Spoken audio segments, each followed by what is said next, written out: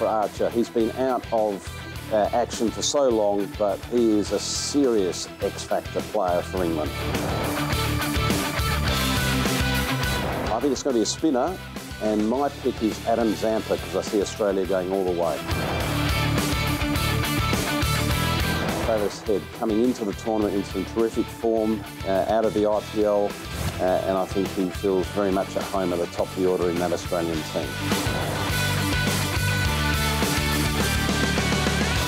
Spinners' perspective, I think they'll come into uh, the game a lot more than in the evening matches, uh, particularly in the Caribbean. Uh, the dew may be a factor at some of the venues, so spin may be nullified at some point in the game. So I think uh, teams that play the day games will uh, have an advantage to look at an option to play two, if not three spinners.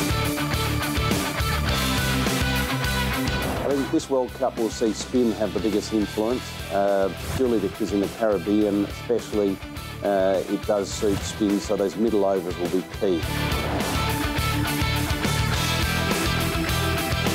I think Afghanistan. I think uh, they're a, a, dangerous side. We know the quality of uh, their spin, but I think over the last probably 12 to 24 months, their batting has improved considerably. So uh, I think not only with the ball they'll be a threat, but I think they're dangerous with the bat as well. In the semi-final, we're looking at Australia, India, South Africa and England.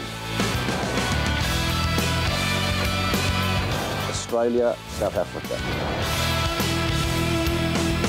I think because he's going to be the leading wicket taker and he's going to help his team get to the final, it's going to be Adam Zampa.